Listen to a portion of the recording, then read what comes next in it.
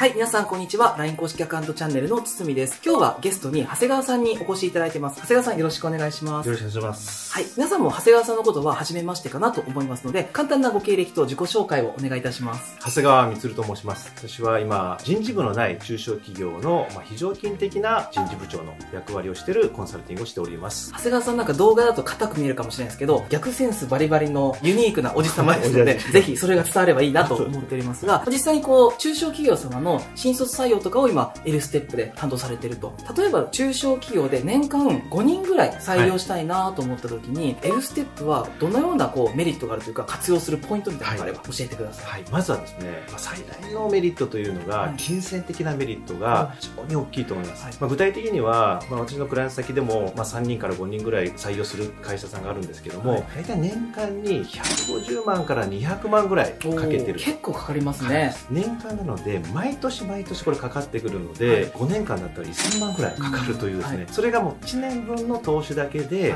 回収できていくということがもう最大のメリットですね。メリットですね。はいじゃあ実際にその、まあ、L ステップ今だとコストカットできていいよねっていう形になると思うんですけれども、はい、一番こうネックになるのが友達集めっていうところが結構難しいかなと、はい、L ステップが一人歩きしてね、はい、友達が集まるわけではないのでそのあたりはどのように活用されたらよろしいんでしょうか、はい、これもですね、まあ、例えばナビサイトを使っている会社さんであれば、同じように使っていくとですねコストカットができないので、額を少なくする。またはボード説明会に出ている会社さんであれば回数を少なくしながら、LINE 公式アカウントと L ステップで構築していく友達集めをするというのがまあ一つですし、はい、学校でですね QR コードをつけたものを LINE 登録してもらうっていう流れを組んでいくっていうのもまたあるかなと、はいうん、例えばじゃあ今まで豪雪に普通に出ててそれでさよならだった人に、リストをそれでメールアドレスで取ってたとしても、まあ、そこでやり取りが続かないケースっていうのもあると思うので、それを全部 LINE にしてこれ QR コード登録しておいてねってい。う仕組みを作れば、後でそこで例えばステップ配信とかで訴求されたり、こう何らかのつながりが持ってたりして結果的に採用につながりやすいみたいなたいなイメージですよね。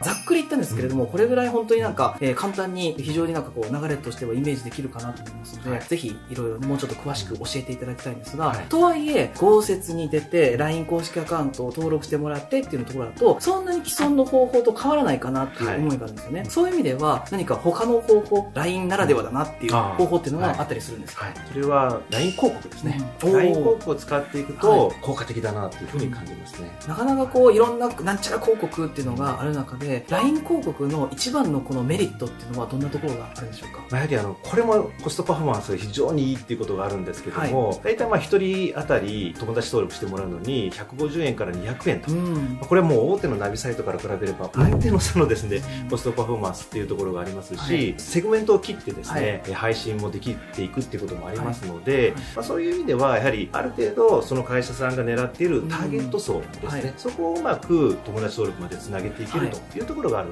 というところですね。めちゃくちゃ絵空事の話ですけど、LINE 友達が1人200円で集まると仮定して、2万円かけたら100人集まるわけですよね。100人の中から1人でも採用決まったら、めちゃくちゃコストパフォーマンスいいよねってことで、かなりこれは求人にも新卒採用にも使えるよねっていうことですよね。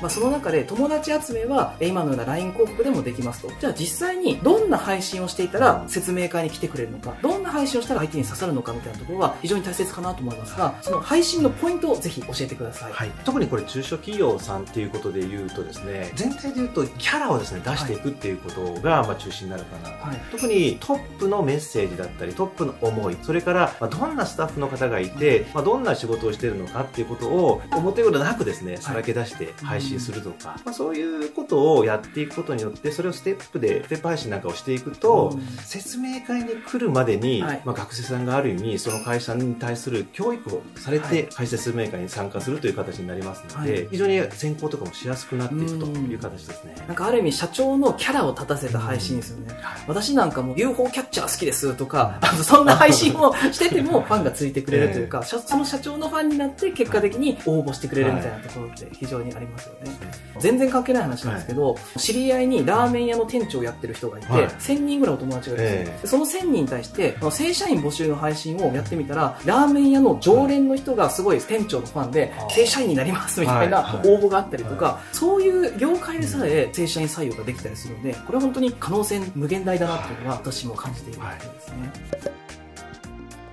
最後になんですけれども、長谷川さんがじゃあ実際に、こういった中小企業様のお役に立てますとか、そういうこう、何かお役に立てそうな条件とか、そういう企業様があったらぜひ教えてください。中小企業さんがまあ中心になるかと思いますけども、やはり金銭的に人的、まあ、時間的にもですね、リソースがあまりないという会社さんなんだけども、社長の思いがしっかりとあるっていう会社さんであればですね、新卒採用ぜひやっていただきたいなと思います。社長の思い一つでですね、学生さんも若い人たちも振り向いてくれるってこともありますので、そしてまああと社員さんを巻き込みながら新卒採用ってやっていきますので、そういう社長の思いがある会社さんはぜひ取り組んでいただきたいなと思います。はい。ではぜひ新卒採用かける L ステップに取り組みたいなという方は、おそらく日本で長谷川さんしかいないと思いますので、ぜひ概要欄から長谷川さん指名でお問い合わせいただければと思います。それでは本日は長谷川さんありがとうございました。